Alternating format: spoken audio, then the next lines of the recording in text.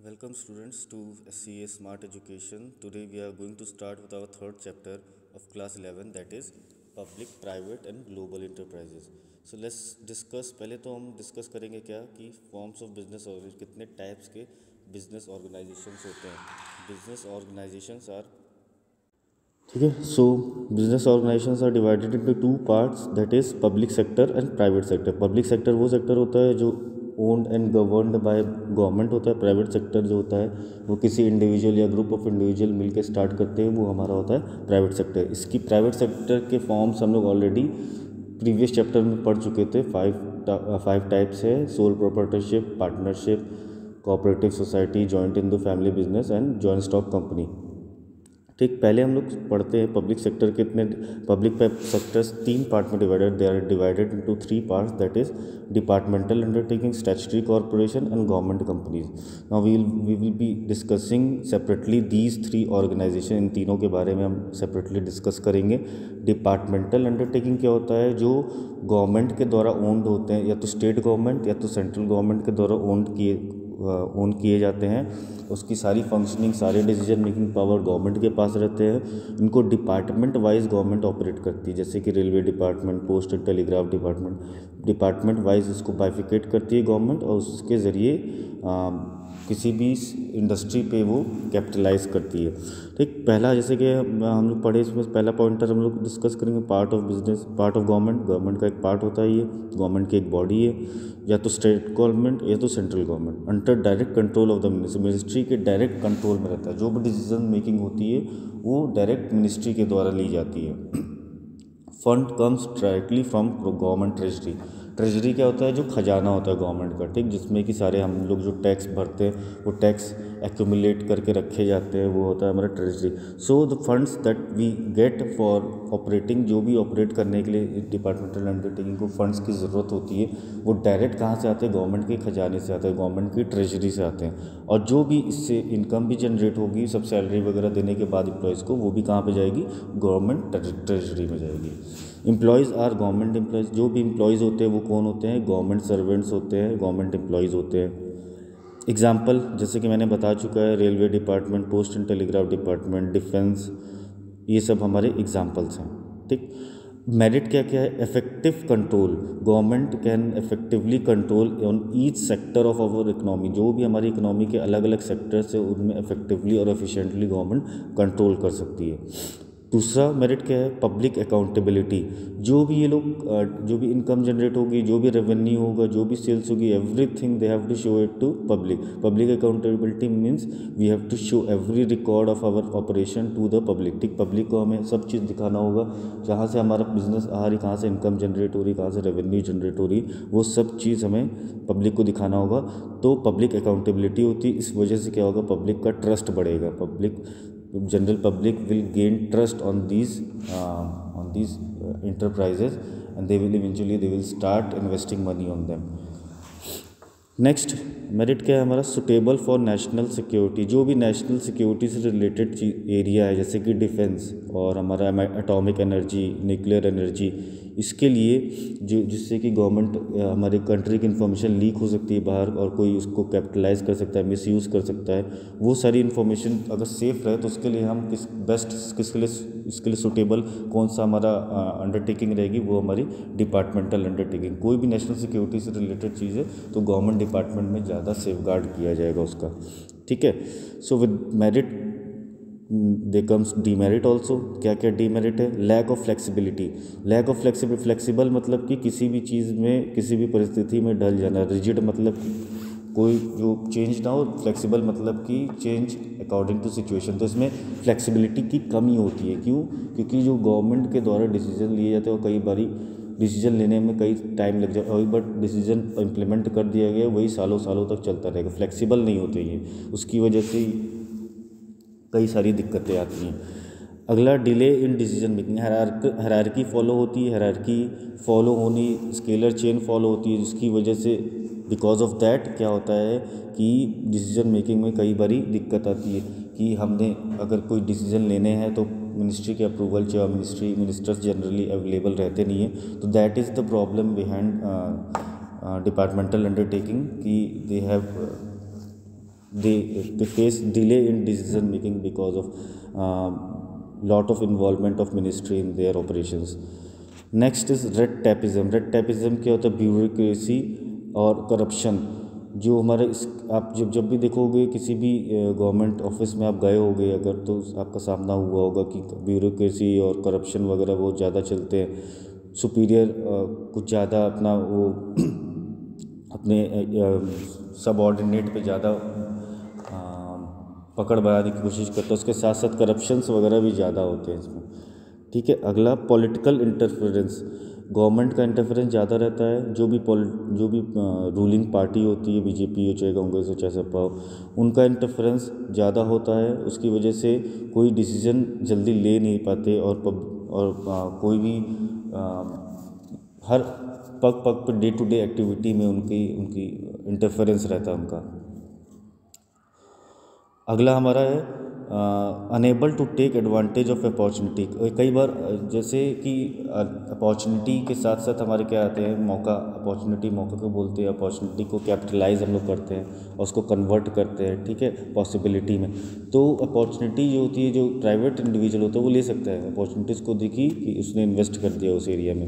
But in the case of departmental undertaking they can not take advantage of the opportunity because they have to take a lot of approvals बहुत सारे लोगों से, बहुत सारे official से approval लेने होते तब तक कि, जब तक अप्रूवल होता है, तब तक ऑलरेडी इस पर कोई कैपिटलाइज कर लिया हुआ रहता है।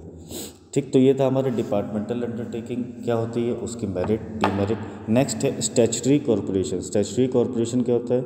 They are created by special act of the parliament which contains their powers and functions rules and regulations regarding their employees and its relationship with government department ये किसके, एक स्पेशल एक्ट के ज़रिए इनका ये क्रिएट किए जाते हैं। पार्लियामेंट में एक स्पेशल एक्ट कि किसी चीज़ की नीड है, किसी चीज़ की ज़रूरत है तो उसके ज़रिए ये लोग को क्रिएट किया जाता है और जो एक्ट होता है, उसी में the act itself contains the powers and regulations जो भी पावर्स इनके, जो भी फ़ंक्शंस होते हैं, जो भी ताकत होती है, जो भी किस दायरे में इनको काम करना है, ये सब चीज़ उसी एक्ट में लिखा रहता है। Rules and regulation regarding the employees and its relationship with government department जो भी रूल्स एंड रेगुलेशन है, उनके एम्प्लॉयज़ के लिए या फिर कैसे रिलेशनशिप है गवर्नमेंट के लिए, वो सब किसमें लिखा रहेगा? वो एक्ट में लिखा रहेगा। उसका एग्ज़ाम्पल है हमारा, सबसे अच्छा example L I C is a statutory corporation ये गवर्नमेंट कॉरपोरेशन है but the employees are not government जो एम्प्लॉयज़ इसके होते हैं, वो गवर्नमेंट एम्प्लॉयज़ नहीं होते हैं। फीचर्स क्या क्या है? Statutory corporation is fully owned by the government सारा ये किस गवर्नमेंट इसको ओन करती है, ठीक है? It is having a separate legal entity इसकी खुद की एक पहचान होती है सेपरेट लीगल एंटिटी ऑलरेडी हम लोग डिस्कस कर चुके हैं सेकेंड चैप्टर में, जिसकी खुद की एक पहचान होती है। फिर its employees are not government employees इसके एम्प्लॉयज़ जो, जैसे कि मैंने अभी बताया, उसके एम्प्लॉयज़ गवर्नमेंट एम्प्लॉयज़ नहीं होते हैं। गवर्नमेंट हायर करती है, लेकिन ऑन अ कॉन्ट्रेक्चुअल बेसिस ठीक? Board of directors are appointed by the government इसके बोर्ड ऑफ़ डायरेक्टर कौन अपॉइंट करता है? गवर्नमेंट अपॉइंट करती है। It prepares its own budget and can retain its earning which can be use for its business अपना budget खुद से बनाती है, उसके डिस्पाइट ये डिपार्टमेंटल अंडरटेकिंग की तरह नहीं, इनके अलग होते हैं, ये अपना बजट खुद से बनाती है और जो अर्निंग्स होती हैं, उसमें क्या होता था गवर्नमेंट ट्रेजिटी भी जाता था इसमें ऐसा नहीं है खुद रिटेन कर सकते, खुद अपने पास रख सकते हैं फर्दर बिज़नेस ऑपरेशंस के लिए, आगे बिज़नेस के काम करने के लिए। Profit is the main motive हर एक बिज़नेस का profit is not sorry profit is not the main motive profit इनका मेन मोटिव नहीं होता है, हर बिज़नेस में क्या होता है प्रॉफिट मेन मोटिव होता है, इनका प्रॉफिट मेन मोटिव नहीं होता है। मेन एम्प्लॉयमेंट जनरेशन और जो जिस भी चीज़ नीड की वजह से उस, उनका क्रिएशन हुआ है स्टैचुरी कॉरपोरेशन उस नीड का फुलफिलमेंट इनका मेन मोटिव होता है। It has public accountability just like departmental undertaking they also have to account they have to be they are also accountable to public public को accountability देनी होती है लेखा जोखा देना होता है। Usually it is free from all types of interference unlike departmental undertaking इसमें क्या होता है कि यूजुअली इसमें गवर्नमेंट का इन्वॉल्वमेंट ज़्यादा नहीं रहता है, खुद से डिसीज़न उनके बोर्ड ऑफ़ डायरेक्टर खुद से डिसीजंस ले सकते हैं। मेरिट क्या क्या है? Free from undesirable government government के इंटरफेरेंस से फ्री होते हैं, अपने डिसीज़न खुद से ले सकते हैं और गवर्नमेंट की तरफ़ से कोई इन्वॉल्वमेंट नहीं होता है, ज़्यादा इन्वॉल्वमेंट होता है बट कम इन्वॉल्वमेंट होता है। The government does not interfere in their financial matters the government government जो होती है दे नॉट इंटरफेयर जो भी फाइनेंशियल पैसे से रिलेटेड मैटर्स होते हैं, उसमें गवर्नमेंट इंटरफेयर नहीं करती है। ठीक है? Next point it is relatively free from red tapes and can take good quick decisions ठीक ब्यूरोक्रेट्स इसमें कम होते हैं ब्यूरोक्रेट्स मतलब गवर्नमेंट एम्प्लॉयज़ तो उसकी वजह से रेड टेपिज्म की प्रॉब्लम्स में नहीं होती और डिसीज़न लेने डिसीज़न मेकिंग बहुत क्विक होती है जल्दी जल्दी डिसीज़न ले सकते हैं। Its policies are subject to parliamentary control which ensures protection of public interest इसके सारी पॉलिसी जैसे कि बताया था पार्लियामेंट का जो एक्ट होता है, उसके, उसमें सारी पॉलिसी सारे rules regulation powers and functions होते हैं। तो सारी इसकी पॉलिसीज़ पार्लियामेंट के कंट्रोल में होती है। तो विच वो, उसकी वजह से क्या होता है पब्लिक को पब्लिक का इंटरेस्ट सेफ़ गार्ड है तो उसको प्रोटेक्शन मिलता है पब्लिक का, अगर कुछ भी पैसे लगे तो। लिमिटेशन क्या है? Stationary corporation actions are subject to many rules and regulation stationary corporation के एक्शंस जो भी काम करती है, उस, वो कई बार उनको रूल्स एंड रेगुलेशंस फॉलो करने पड़ते बहुत सारे। Government and political interference have always been there where huge funds are involve और इन मेजर डिसीजंस जो मेजर डिसीज़न बड़े बड़े डिसीज़न या फिर जहाँ पे ज़्यादा पैसे इन्वॉल्व है ह्यूज फंड्स इन्वॉल्व गवर्नमेंट का वहाँ पे पार्टिसिपेशन रहता है। गवर्नमेंट बाय डिफ़ॉल्ट गवर्नमेंट का इन्वॉल्वमेंट वहाँ पे हो जाता है। Where there is dealing with public corruption exist at a large level ज़ाहिर सी बात है, जहाँ पे पब्लिक में डीलिंग हो रही है, वहाँ पे करप्शन भी एग्जिस्ट करता है, ठीक है? तो करप्शन यहाँ पे भी एग्जिस्ट करता है, चाहे चाहे पब्लिक डिपार्टमेंटल अंडरटेकिंग हो, चाहे स्टेचुरी कॉरपोरेशन हो। When we are dealing with the public there, there will always be a corruption. The board of directors may misuse their powers and indulge in undesirable activities. Sorry undesirable practice the board of directors क्या होते हैं? अपनी power का miss use क्योंकि इनको government पूरी power देती है कि आप अपनी मर्ज़ी से डिसीजंस ले सकते हैं। तो उस उस पावर को ये लोग मिस यूज़ कर सकते हैं और अपने हित के लिए, अपने फ़ायदे के लिए कुछ गलत काम कर सकते हैं। They can indulge in undesirable activities for their personal benefit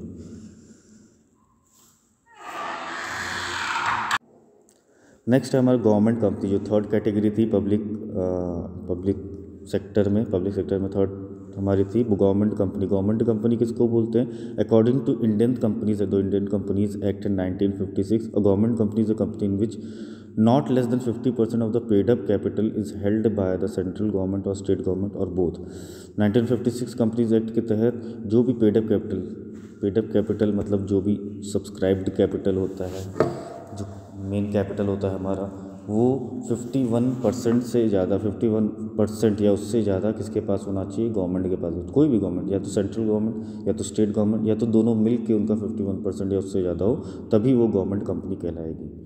Subsidiary of government company is also considered as a government subsidiary मतलब कि एक कंपनी पेरेंट कंपनी होती है, उसके अंदर की जो कंपनी होती है, उसके अंदर कई सारी कंपनीज़ होती हैं। उसको बोलते हैं सब्सिडरी कंपनी उनकी एक पेरेंट कंपनी होती है।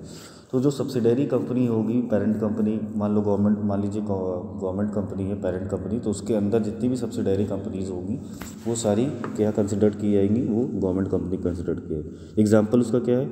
H M T Hindustan machine tools limited फिर उसके बाद हमारा भेल है, भारत हैवी इलेक्ट्रिकल लिमिटेड, फिर स्टील है, steel authority of India limited, ठीक?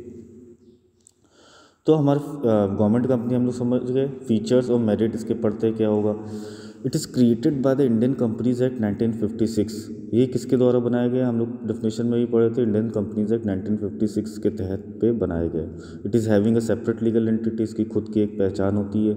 Its employees are appointed according to the rules content in the memorandum and article of association इसके जो भी रूल्स होते हैं, वो किसके memorandum employees are appointed according to the rules contained in the memorandum and article of association. जैसे कि एम और ए होता है मेमोरेंडम ऑफ़ एसोसिएशन और आर्टिकल ऑफ़ एसोसिएशन आगे आने वाले चैप्टर में और डीपली इसके बारे में पढ़ेंगे।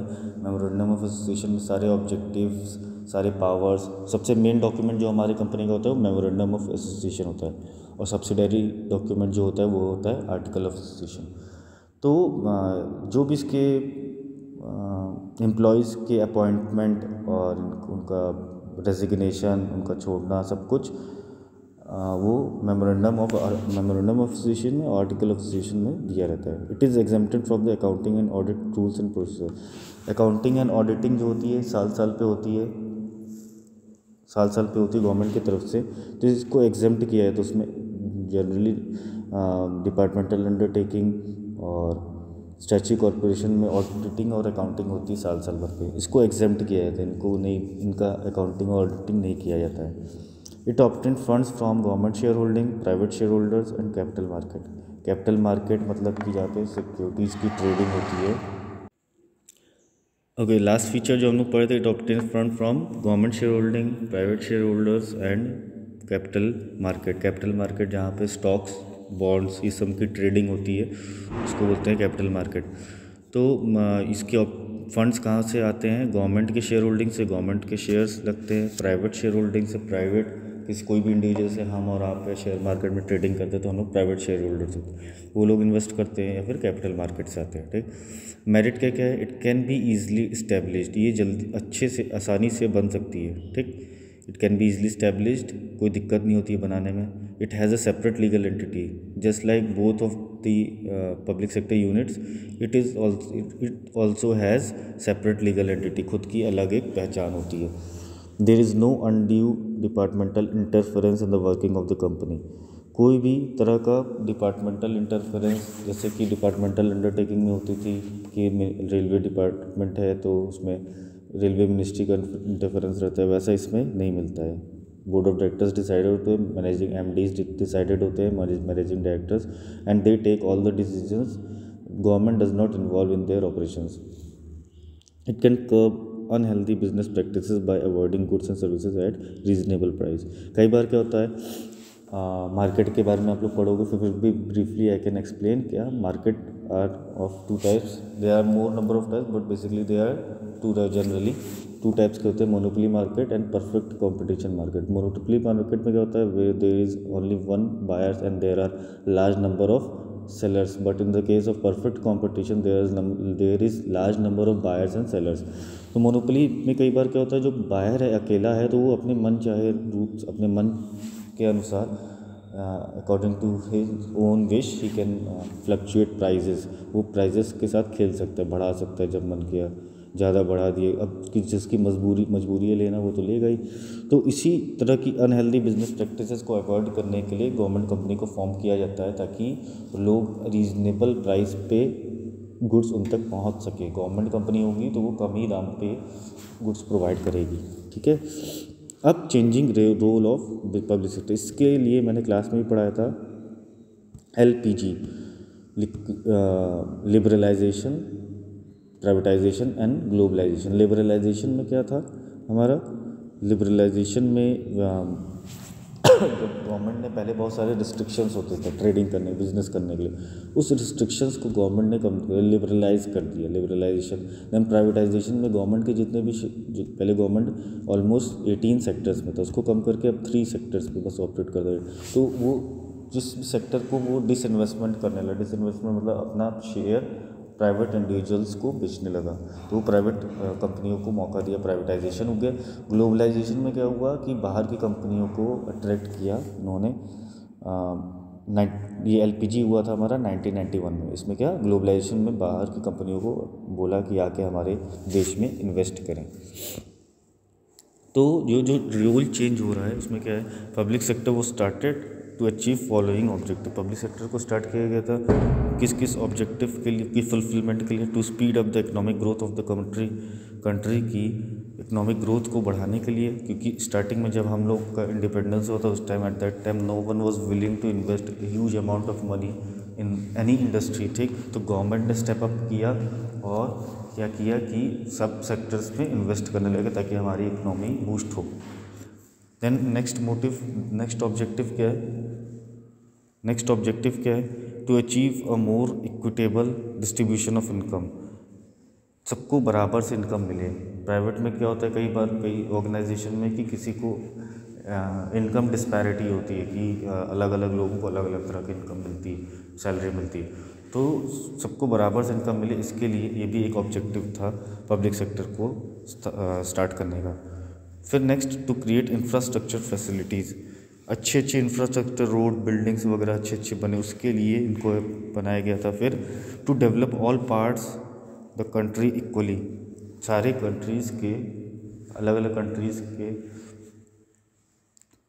आ, आ, हमारी कंट्री के अलग अलग पार्ट्स को बराबर से वो डेवलप हो ये नहीं कि कोई एरिया ज़्यादा डेवलप्ड है और कोई एरिया कम डेवलप्ड है।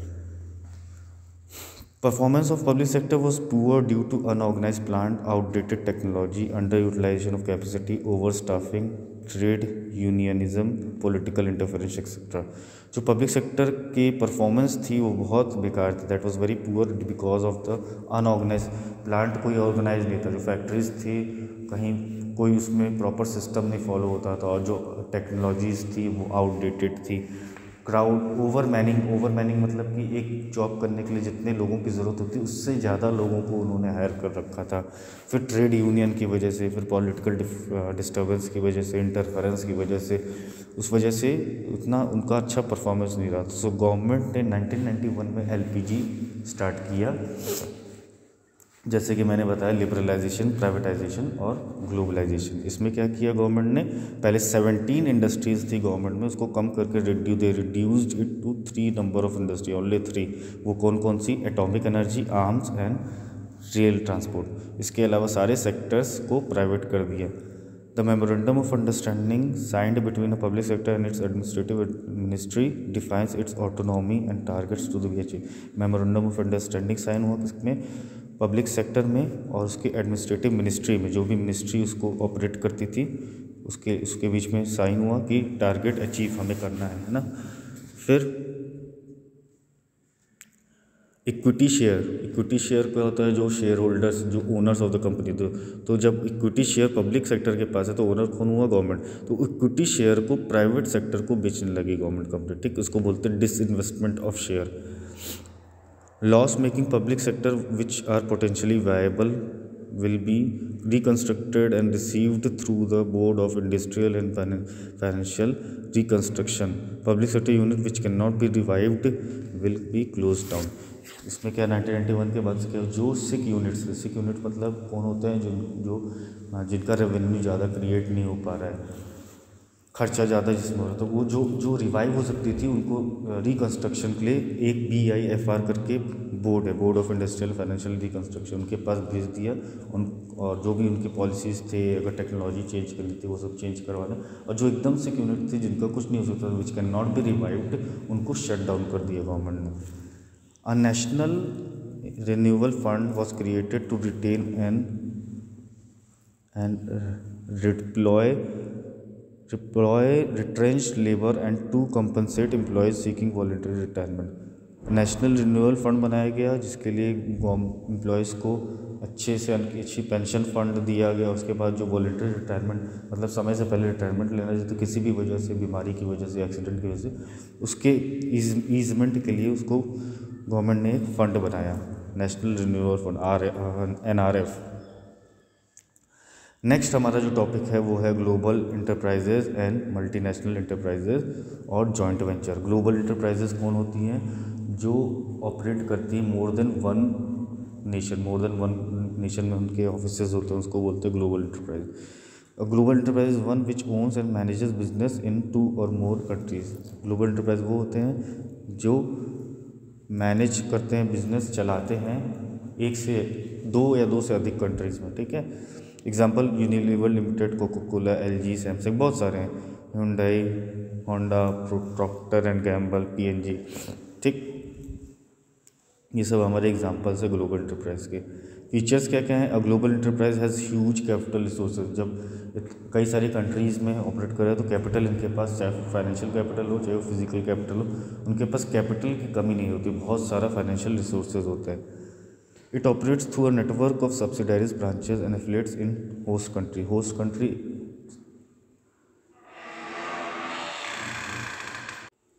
ये कैसे ऑपरेट करती है? नेटवर्क ऑफ़ सब्सिडरीज कई सारे ब्रांचेज के अलग अलग कंट्रीज़ में होते हैं। होस्ट कंट्री जहाँ पे ये जाती है। और होस्ट कंट्री जहाँ पे ये ऑपरेट करती है। तो अलग अलग कंट्रीज़ में सब्सिडरीज़ के थ्रू ये या ब्रांचेस के थ्रू ऑपरेट करती है। नेटवर्क होते हैं इसके पूरे।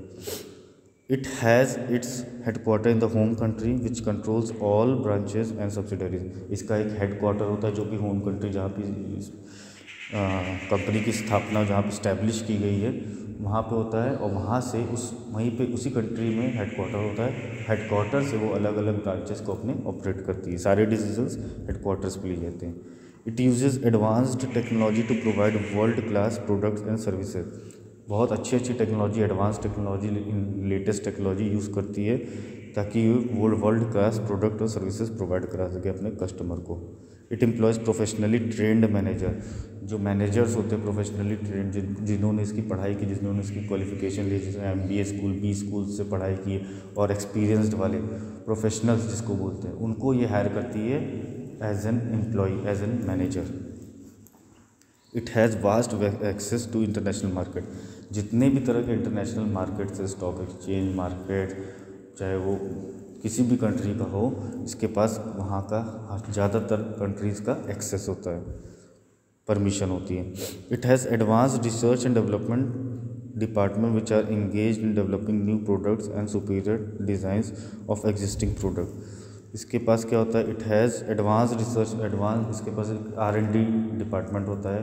आर एंड डी डिपार्टमेंट जिसको बोलते हैं रिसर्च एंड डेवलपमेंट डिपार्टमेंट जो रिसर्च हमेशा करता रहता है कि कौन से प्रोडक्ट अच्छा है, कहाँ अपॉर्चुनिटी है, उस अपॉर्चुनिटी को कैसे कैपिटलाइज करना है। तो इसके पास एक एडवांस रिसर्च टीम होती है रिसर्च एंड डेवलपमेंट टीम होती है, जो कि लगातार इसी में लगे रहते हैं कि कैसे नया प्रोडक्ट और नया प्रोडक्ट बनाया जाए या उस जो डिज़ाइन हमारी ऑलरेडी उससे सुपीरियर डिज़ाइन अच्छी डिज़ाइन कैसे बनाई जाए। It uses aggressive marketing strategy, aggressive मतलब बहुत अच्छी मार्केटिंग स्ट्रेटजी जो कि हर लोगों तक एक एक लोग तक पहुँच सके। वैसी मार्केटिंग स्ट्रेटजी ये लोग यूज़ करते हैं।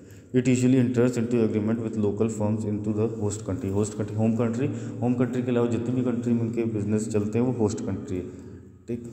तो होस्ट कंट्री में जो लोकल होते हैं, लोकल बिजनेसमैन, उनके साथ ये लोग टाई अप कर लेते हैं। ताकि, क्योंकि उनका कनेक्शन ज़्यादा होता है लोकल मार्केट में, उनके साथ टाई अप करके वो लोग अपना बिज़नेस करते हैं। Next topic and the last topic is joint venture joint venture क्या होता है? A joint venture is a business partnership between two or more companies for a specified purpose joint venture जब दो और दो से अधिक, दो से अधिक कंपनी मिल के एक स्पेशल स्पेसिफिक पर्पस के लिए कोलेबोरेट करते, एक साथ मिलते हैं बिज़नेस करने के लिए उसको बोलते हैं जॉइंट वेंचर एग्ज़ाम्पल क्या है? हीरो होंडा अब दोनों अलग हो गए। पहले एक साथ थे तो हीरो होंडा बोलते थे। मारुति उद्योग बिरला यमहा महिंद्रा रेनो ये सब अलग हो गए, लेकिन पहले एक साथ थे तो जॉइंट वेंचर थे वो। बेनिफिट क्या होता है? Joint venture has greater resources and capacity joint venture के पास ज़्यादा रिसोर्सेज होती है और ज़्यादा काबिलियत ज़्यादा कैपेसिटी होती है। It has access to advance technology advance technology के, इनके पास होती है। जब पैसे ज़्यादा होंगे तो टेक्नोलॉजी भी एडवांस होगी। It has access to new market both the companies can utilise the market of another company है ना? दोनों के मार्केट अलग अलग होंगे और दोनों एक दूसरे के मार्केट को यूज़ कर सकते हैं। It can produce products at lower cost they can produce products at lower cost क्योंकि दो कंपनी मिल गई है रिसोर्सेज ज़्यादा है हमारे पास रॉ मटेरियल्स कम दाम में खरीद सकते हैं तो इवेंचुअली क्या होगा? प्रोडक्ट की भी कॉस्ट कम हो जाएगी। It has ideas and technology develop innovative product and services इसके पास they have ideas and technology ऐसे ऐसे होती है they can develop innovative and new new product नए नए तरीके के प्रोडक्ट और प्रोडक्ट और सर्विसेज़ प्रोवाइड करा सकते हैं। When one party in a joint venture has well established brands and goodwill, the other party gets its benefit. दो पार्टी है फॉर एग्जांपल दो कंपनीज़ हैं। अगर एक की गुडविल इमेज अच्छी है और एक की इस्टेब्लिश्ड ब्रांड है ज़्यादा दूसरे से तो दूसरा वाले को ज़्यादा फ़ायदा मिलेगा उसके इस पहचान से, है ना? अब है हमारा आखिरी P P P public private partnership public private partnership means an enterprise in which a project or service is finance and operated through a partnership between government and the private sector जब private sector और government sector में partnership होती है collaborate करते हैं, उसको बोलते हैं P P P government public private partnership जो फाइनेंस दोनों तरफ़ से होता है फाइनेंस और ऑपरेट दोनों लोग करते हैं गवर्नमेंट और प्राइवेट इंडिविजुअल मिलके। फीचर्स क्या क्या है? It facilitates partnership between public and private sector it is related to high priority project partnership होती है किसके किसके बीच? पब्लिक और प्राइवेट सेक्टर में।